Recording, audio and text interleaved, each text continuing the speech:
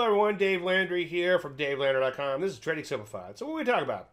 Well, I want to take a break from some of the things we talked about, and then maybe we can catch up if we have enough time toward the end on something like the Trading Psychology Crash Course I've been kind of going through lately. But I wanted to take a break from some of the things such as the, the mystery charts and methodology in action. And, and the reality is, I really don't have anything new to show you there, including my next 100 trades. But we'll pick that up starting again next week. I want to take a break and talk a little bit about bear markets. And again, you might be thinking, well, Dave, it's a little late in the cycle to be talking about bear market stuff we need to know. It's like, well, I started talking about a lot of this stuff over a year ago, and that, I'm going to flesh that out in a little bit of more detail too in a few minutes. But there are some things I think you need to know. And then along those lines, I got to thinking about it recently, as I've been saying, I've been doing some presentations for a Chinese investment forum. And because I really don't know the audience, it's kind of hard for me to gauge the level of the audience. I kind of brought everything back to the utmost basics. And then I got to thinking about it recently. And it's like, you know what? Everything really does boil down to the utmost basic, basics first and foremost. And then that's where you have to start with anything. And I always start with a blank chart before I start adding indicators. So I want to talk about that especially as it relates to the overall market. And again, we'll follow up on the psychology crash course in upcoming webinars if we don't have enough time today. Housekeeping, I do take requests. Makes my job a lot easier, as I often say. Send them to davelandry.com slash contact. Also, if you want the slides from this presentation and all the other slides from all the other presentations that I've done for Trading Simplified combined, including or in addition to a bunch of other stuff that keep you busy for a long time, limited access to my members area, all three of my books in PDF format, etc. You can go to davelandry.com slash stock charts. By the way, if there's something you want covered and it doesn't fit into this video, my Thursday shows are a little bit more open-ended, and also those are still live, so you can come in, interact, bring up some stocks you want to look at, ask some questions live. Would love to have you there every Thursday night. Right now it's at 6 Central Time, and we're in daylight time, so it'd be 6, 6 daylight time and 6 p.m. daylight time. You go to davelandry.com slash webinar for more on that. There's my Twitter Twitter handle. He tried to say. Now, not a whole lot of methodology in action, but I did want to show you a little mini mystery chart, and I wanted to reveal it to make a point here. So we've got two markets here. This is going back to April and this is as of yesterday. And if you draw sort of a line between them or paint a line between them, you can see for the most part, they have a 100% correlation, meaning one goes up, the other goes up, one goes down, the other one goes down. And I've done this before, and it's it's I forget exactly how I did it. It's kind of painstaking, but if I could just raise one of these up to the other, they would almost have a 100% overlay, meaning that they're nearly 100% correlated. Now, I thought it would be interesting to add in a third market to this. And again, I think it'd be easy to raise up to these other two. I'm not saying it'd be 100% correlated, but the correlations are super, super, super, super high. Every now and then, like back here, you can see they, they get a little out of phase, okay? Or at least the, this market here did. But for the most part, and for most of the time, the correlation is 100%. So again, if you just kind of draw a broad stroke through them all, you can see for the most part, aside from a little flipping back and forth recently during that sideways chop, they were for the most part nearly 100% correlated. Now, what are these markets? First one, S&P 500, and the next one is Bitcoin. Now, the reason I wanted to show Bitcoin is because it has this amazingly high correlation to the S&P 500 and the the crypto bulls which I was a crypto bull when crypto was going up. And if somebody criticized me back then I, I know some people were criticizing crypto but it was going straight up. And they criticized crypto it was bitcoin at 3000 4000 5000 10000 20000 30000 40000 50000 60,000 the whole way up. And then when it finally starts rolling over, they're like, you see, I told you. Well, they just missed a huge ride. And I'm a little disappointed in some of these individuals because they are technicians and they have confused the issue with facts. But anyway, I digress. Getting back to the Bitcoin permabulls, the HODL type, HODL type, their thinking is that Bitcoin is going to save us, and if the market crashes, we can go into Bitcoin, and if the SHTF will go into Bitcoin. Well, based on this chart here, and bases the F the S&P 500, it doesn't look like Bitcoin is going to be a good proxy. Now, if you did have some sort of investment that did the inverse of the S&P 500, then that would be fantastic. In other words, if it went up when the market went down, that'd be great. But Bitcoin is not that market. So the market I want to add in here is bonds basis the TLT. Now, what's interesting is there's a fairly high correlation with bonds too. Point again, you have to be careful of is a lot of times, especially when you're in a liquidation type of market, everything gets sold. And that's kind of a longer term example, but if you've been trading for more than a few days, you've probably witnessed, especially the bear market, of course, you've probably witnessed these days where gold gets creamed, bond gets bonds gets creamed, and stocks gets creamed. So there's really no place to run, no place to hide, and that just tells me that people are just liquidating market at all costs. As I often say, quoting Tom McClellan's late mother Mary, Mary, Marion McClellan. Some people buy when they have money, and some people sell when they need money. Well, when the market starts dropping, it becomes a need money type of market, and everything gets sold. So never forget that. Sometimes in a market, there's no place to run, no place to hide. Now, back last summer, as I've said quite a bit, I wanted to do a show to get ahead of it, so to speak, to get ahead of the market timing. So I waited until the market was at all time highs and decided that, you know what, it's a good time to do a show on market timing. And I named it Before the Bomb Blows Up because no one calls me when the market's at new highs. And by no one, I mean my friends and family, obviously. They all wait until they're down 30 or 40%, and then they call me in a bit of a panic. Well, I thought doing that show would help me get ahead of it, but my phone's starting to ring now. anyway, I digress. So last year, right around the time the or year before, I should say, when the SHTF, when the pandemic slide began in earnest, one of my relatives decided to tell her brokerage to go conservative and put a big hunk of cha- uh, change into a conservative portfolio, so to speak. So they put her in a few other things, including gold, which, all, which also unfortunately imploded. But one thing they did was they put her in a bunch of these fundamental conservative funds. And by the way, these funds most of them, I say, were ran by their brokerage. And uh, I don't know, I don't want to be too skeptical, but there's probably 100,000 mutual funds out there. I know there's more mutual funds than there are stocks. It makes you wonder were their funds really the best funds they could have put her in? But I digress.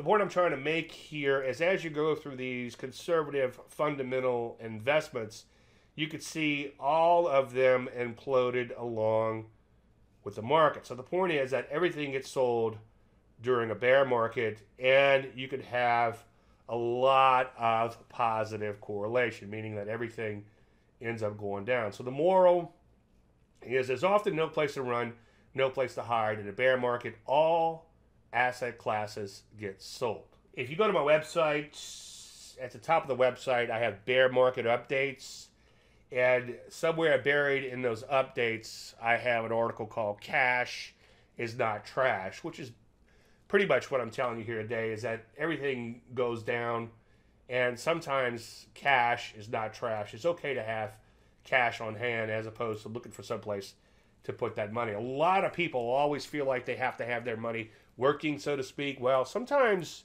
as they often as they often say, not me, as is often said, I should say, is return of capital is more important than return of capital or seeking return on capital, I should say. So check the correlations of your investments.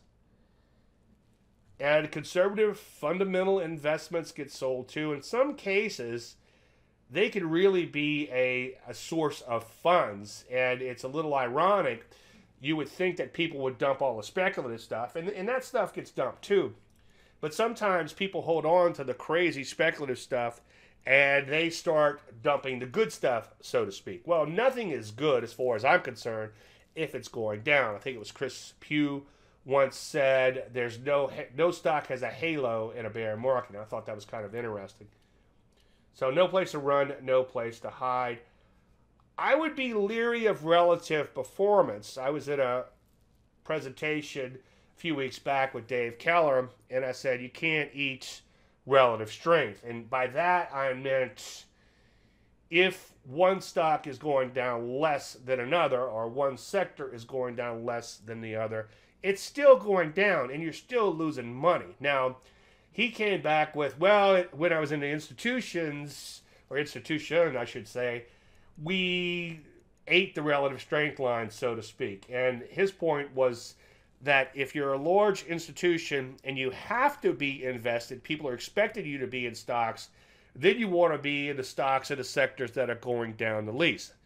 That's fine, and it's a bad investment from from an individual standpoint. But as a private trader, we don't have to always be invested. Again, cash is not trash. Now, as I said earlier, I want to come back to the basics once again. And a lot of people, I get a lot of emails from people. They're like, Dave, I can't believe you just draw lines on charts and that's all you do. And it's like, well, I do a little bit more than that. I do the moving averages, and I'll show you those in a few minutes. But other than that, the moving averages, that is, I really don't use any indicators whatsoever. And I think the net net price movement is the most important thing you could do. Start there, but then make sure you come back often. So let me just show you what I mean. And this stems from, as I said earlier, working on some presentations for the Chinese Investment Forum, where I wanted to show some really simple things for them to look at to gauge where they are in the markets before we got into moving averages and all this other good stuff anyway, you can see that we're in a bear market, and the market has gone down about 25% peak to trough. Now, if we start looking at what happened, and if we kind of rewind and go back in time, first thing happened was the market dropped 12%, and then it rallied back up 8.8%. This is on a closing basis, obviously. Now, the market began to sell off again, and then lost 10.5%. This time it rallied back 12.3%. So it's like, okay. Well, at this juncture, I figured the market was in a lot of trouble. And we started getting some sell signals way back here. And I figured that, okay, we're still in trouble. It rallied up a little bit, stalled out, went down. So thrust, pull back, thrust. And then we have this big old huge retracement. Well, I didn't get too bullish in here, even though we were just a couple of percent away from all time highs. And the reason I didn't get too bullish is like, okay, if I get bullish in here, then I'm going to be a little bit early. I'll be about 2% early if this thing hits new highs and goes beyond. It's like, you know what? What if I just sat on my hands a little bit and waited for this thing to make new highs and stay there before getting in? Yeah, I might be getting in a little bit late, but I'm willing to give up that that 2%. And then the market obviously rolled back over. It made a 17.85% leg lower.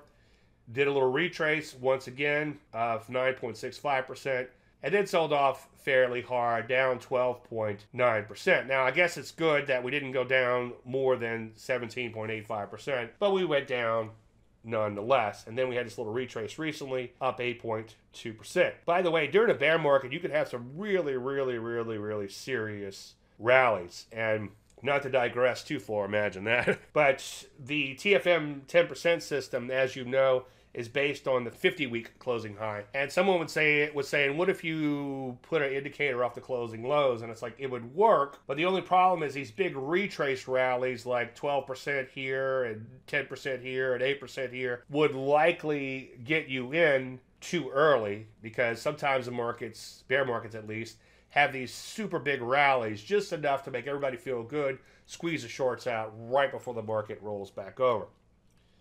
Now, after being all bearish on you, we do have falling tops, okay, or falling peaks, however you want to look at that. For the most part, at least since April or late March, we've had lower highs and lower lows, and that is a downtrend. So we're still in a downtrend longer term, but one slight little glimmer of good news is we have been going sideways for the last four to six weeks. So that's a good thing. Now, don't buy a market just because it's not going down a lot or as much. or sideways, but do pay attention to see if it can begin to rally and maybe take out some recent highs.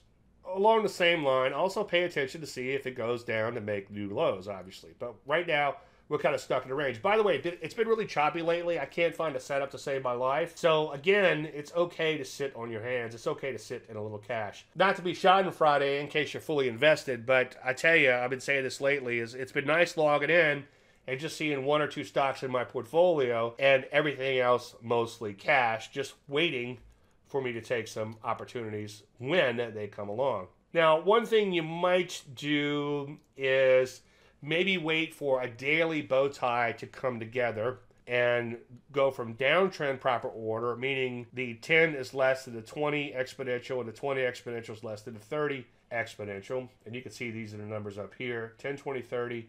The 10 is simple, the 20 is exponential, 30 is exponential. When the 10 is above the 20 and the 20 is above the 30, it's an uptrend, proper order. When they flip over, it goes to downtrend, proper order. So obviously coming into 22, the market was in an uptrend basis. This indicator, or as I like to call it, illustrator, because it just shows you what's already in the chart. It's no, it doesn't indicate what's going to happen. It just tells you what already happened, right? But you can see it flipped over. Now, a major signal is a signal that comes off of all-time highs for the stock market, at least, or at least multi-year highs in a stock, or sometimes all-time highs would be a good way to look at that one too. And then for a major buy signal, it would have to come off for stocks. I would say a five to ten year low. But you can see the market did roll over. Now, this is what I call a minor signal because we were only hitting multi month lows before it turned back up. It can help keeping the right side of the market, but you can see that that new trend never really did materialize from that minor signal. And the next signal we had down, I would call a minor signal. But the only caveat or only thing I would add, I would say, is that your last major signal was up here. So you're not that far off of all time highs. And the trend so far is down at this juncture. So at least it's with the trend as opposed to against the trend. And you can see the illustrator, if you want to call it that, or indicator on the bottom.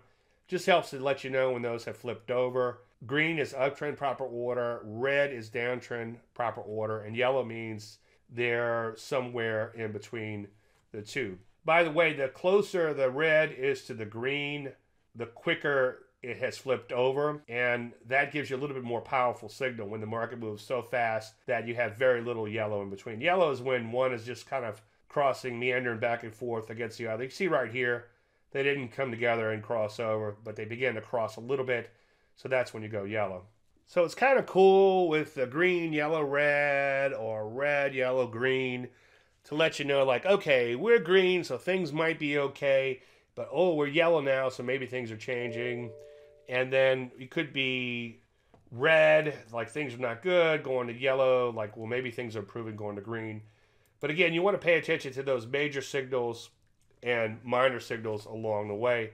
In this particular case, should we cross back up, it would still be a minor signal based on the fact that we're not coming off of multi-year lows, at least not just yet. Now, if we take a look at a longer term S&P 500, and we're still in a daily chart here, you could see that we would be down around one year plus lows, but not like five or 10 year lows. So this signal here, should it occur, should we turn green, would be more major than something like this one here, okay? It'd be more important, but it still wouldn't be what I call a major, major, major signal. So right here, obviously, again, coming into 2022, I'd see this as a major signal.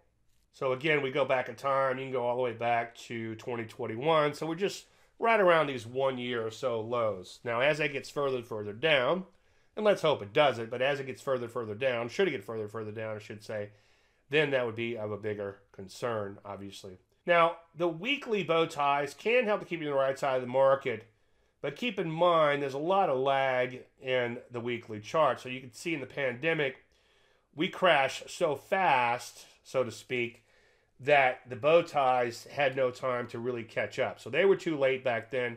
That's okay. We were looking at daily signals, as I've said quite a bit. And also, we did have a longer term sell signal, the TFM 10% system. had a sell signal to my surprise before even the daily bow tie kicked in. But you can see we bow tied back up on the weekly, and once again, this was a minor buy because this wasn't off of multi multi year lows, but still, when it happens on a weekly basis, it's worth paying attention to, and it can help to keep you on the right side of the market. But obviously, it was a little late. Now, getting back to the major signals, obviously, when we rolled over back here earlier this year, the weekly did catch up fairly quickly because of the bigger scheme, a longer term view scheme, however you want to look at it. Remember, each one of this is 1, 2, 3, 4, 5, 6, 7, 8, 9, 10, 11, 12, 13, 14, 15 or so weeks in here. It did catch up and we did get a turn down. So this would, it would be a, what I would call a major downturn based on the moving averages. And we would have to drop significantly to, and then turn back up to get a major buy basis this. But shorter term, we have been improving by trading sideways, but let's not get too excited just yet until we begin to see some upside follow through. So the point with all this is never forget about the net net, okay? Price change when you're looking at markets. Never forget about the correlation and remember, there's no place to run, no place to hide. Okay, so we do have a little time left over. I was asked, as I've been saying quite a bit, to do some presentations for this Chinese investment forum, and they're no longer holding it um, in China because of the COVID issues, obviously. But hopefully they'll return to that, and maybe they'll remember me, and that's that's why I'm doing it. Uh, maybe I get a little uh, trip over to China. Anyway, getting back to the trading psychology, what I wanted to point out was some major things that, in addition to trading psychology, there's a neurology involved to where you cannot make decisions without emotions and stress because each decision has a consequence. And further, and there's a, another part of your brain that works on this too is you can't make decisions without feelings. So everybody tries to separate themselves from the feelings and emotions when it comes to trading. And there are some things that you could do to kind of help you with that. But my big epiphany when I first learned about trading neurology is that, hey, just embrace that's the way it is. You're going to be emotional and take some steps through the money management, through the position management, maybe using stops for entries and, and commitment devices and all these other things often, often talk about to help you with that. Now, last week when I was talking about emotions and feelings and reasons people buy and sell stocks, some people buy when they have money. Again, some people sell when they need money. Getting back to Tom McClellan's mother, Marion, always ask yourself on a trade, am I buying because I have money? Am I selling because I need money? And I've, I've got to really watch myself. I'm as guilty as anyone. And I, I'm a firm believer in my core methodology in trading for longer term gains, trading for both shorter term and longer term gains. But the longer term gains are really where the money is. But I do feel myself firing off some intraday trades here and there. And I'll talk about that every now and then in my weekend charts show. And one thing that I'm guilty of is if I have a really good day, like yesterday I had a really good day, I am more inclined to come in the next day and how do I say it nicely without saying anything uh, that not PG thirteen. Let's just say give away some of that money the next day. So a lot of times, again, I'll come in after a good day and I feel like buying or or shorting or whatever just because I have money. I got to watch myself from that. So always ask yourself when going into a trade: Are you buying because you have money, or are you selling because you need money, or is there any other reason that has nothing to do with trading? And this is something I can really flesh out quite a bit. But for now, just ask yourself that question. I think you'll find the answer yourself.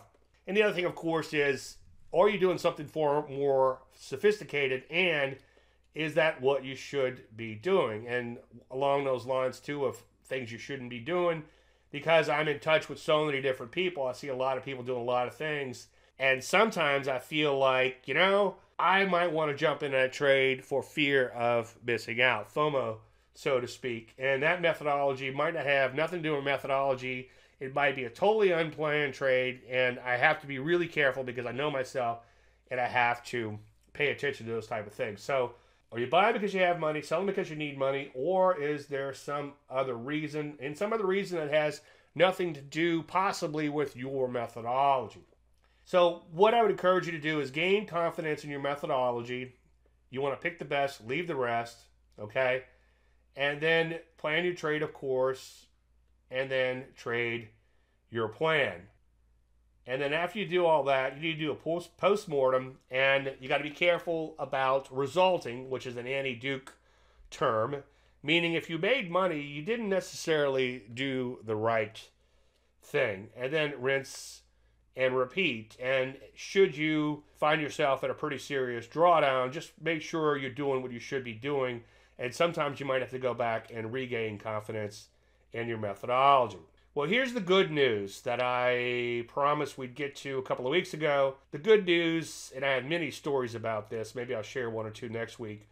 But the good news is a stock speculator sometimes makes mistakes and knows he is making them. Obviously, that's Jesse Livermore. And next week, I'm going to give you some tools. Good news is you know what you're doing wrong. Well, that's all my time for this week. I want to thank you guys and girls for watching. Anything unanswered, you can reach me at davelandry.com slash contact. Thank you so much, and may the trend be with you. Hey, Grayson Rose here with Stock Charts. Thank you so much for watching. I hope you enjoyed that video. If you did, consider giving it a like down below, maybe leave us a comment, and if you're new to the channel, you can subscribe at the link up above. We're gonna bring you daily content from an incredible collection of technical analysts and financial experts.